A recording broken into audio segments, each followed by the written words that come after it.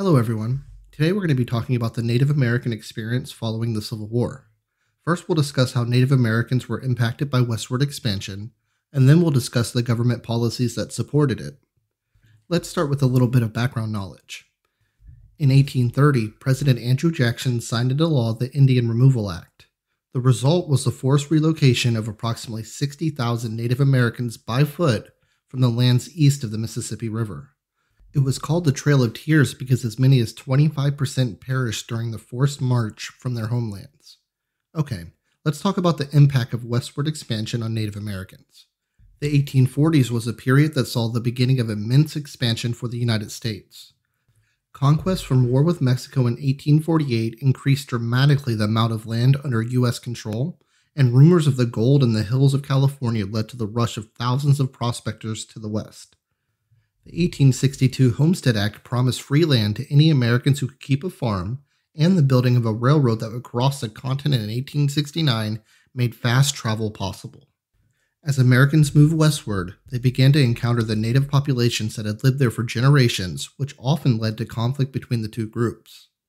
A central aspect of the Native American experience during this time was the depletion of the buffalo. Buffalo were an essential resource for the Plains Indians.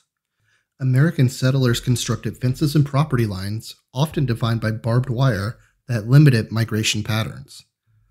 But the most devastating impact on the buffalo was from commercial hunting. Buffalo hides were a popular item back east and in Europe, and thousands were killed daily. The American government encouraged the hunting of buffalo as well in order to remove pressure on the cattle ranchers and to devastate the Native American population to force them onto reservations. As pressure on the Native Americans increased, conflict ensued. Settlers and tribes would often exchange attacks on one another, and from 1860 to 1890, a series of Indian wars was led by the U.S. military to relocate the Plains Indians. While some engagements resulted in victories for the Native Americans, such as the Battle of Little Bighorn in 1876, the disproportionate strength of the American military meant that most battles resulted in devastating losses for the Plains Indians. Some were overwhelmingly brutal, such as the Sand Creek Massacre of 1864.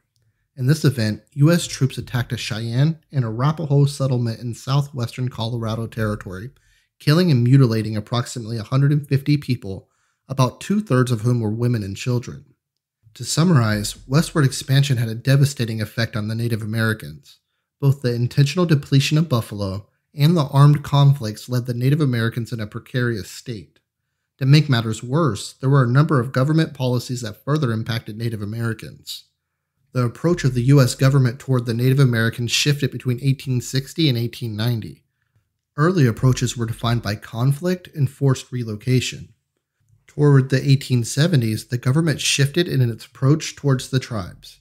By this point, most of the tribes in the West were either confined to reservations or devastated by the loss of buffalo and the conflict with American settlers and troops. In 1867, the Indian Peace Commission decided to remove all remaining Indian tribes to reservations and made efforts to civilize them. This included funding the Indian boarding schools for Native American children, such as the Carlisle Indian Industrial School in Carlisle, Pennsylvania. The mission of its founder, U.S. General Richard Pratt, was to kill the Indian but save the man, and recruitment for the school focused on the tribes that were still resisting American settlement on their lands. These schools aimed to transform the culture of Native American children by teaching them English, American customs, and Christianity. Similarly, the Dawes Act of 1887 divided communal tribal land on reservations into private holdings. Each family was assigned a piece of land and given rights to it. But since most Native Americans were unfamiliar with contracts, the English language, and the concept of private property in general, many were tricked into selling their land to American businessmen at a huge loss of profit. By 1890, almost all Native American tribes were confined to reservations in remote, undesirable lands in the West. Their numbers dramatically reduced. The Native American population decreased from approximately 7 million to 250,000. In 1890, what is considered to be the final conflict of the Indian Wars occurred near Wounded Knee Creek in South Dakota when 300 Lakota Sioux, mostly women and children, were massacred by U.S. soldiers. Years later, reflecting on that day, Black Elk stated, I did not know how much was in it.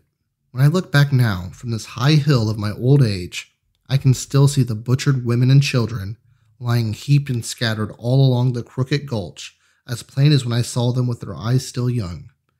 And I can see that something else died there in that bloody mud and was buried in the blizzard. A people's dream died there. It was a beautiful dream. Thanks, everyone.